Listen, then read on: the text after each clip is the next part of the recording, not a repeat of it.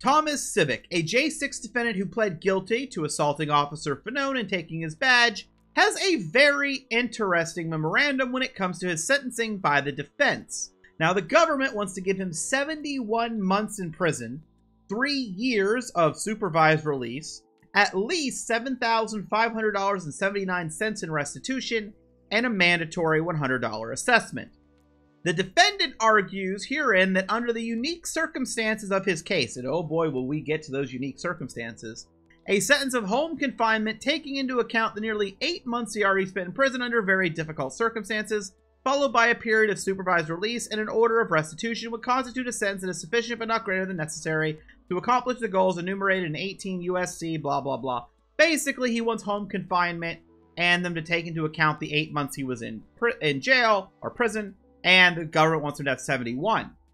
Now, what's really interesting here is all of this. All of this is what I wanted to focus on here. And really, what I wanted to start with is here, on number two. The government, for its own reasons, recommends a sentence at the top of the guideline range it believes applies to this case 57 to 71 months in prison. So the government wants 57 to 71 months. The probation office recommends, for reasons that are more sound, but still erroneous, contemplate a five level enhancement for serious bodily injury, a sentence of 48 months in prison, with additional stipulations.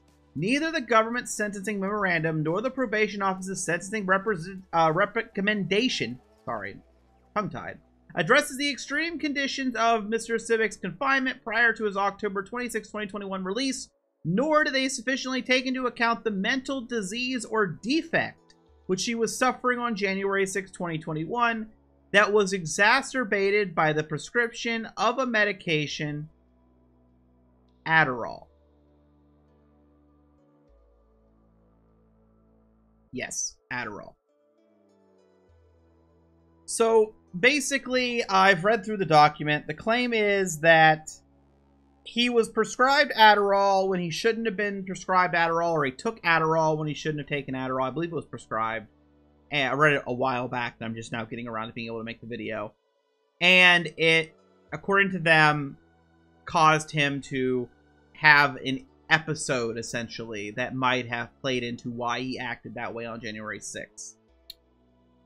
Moreover, neither document acknowledges the minor nature of the assault when compared to what was typically considered an assault, punching, kicking, etc. under the relevant statute. Finally, neither the government nor the probation office has the benefit of having read the very compelling letter written by Mr. Sibick in advance of the sentencing and any other letter addressing the sentencing issues this court must address.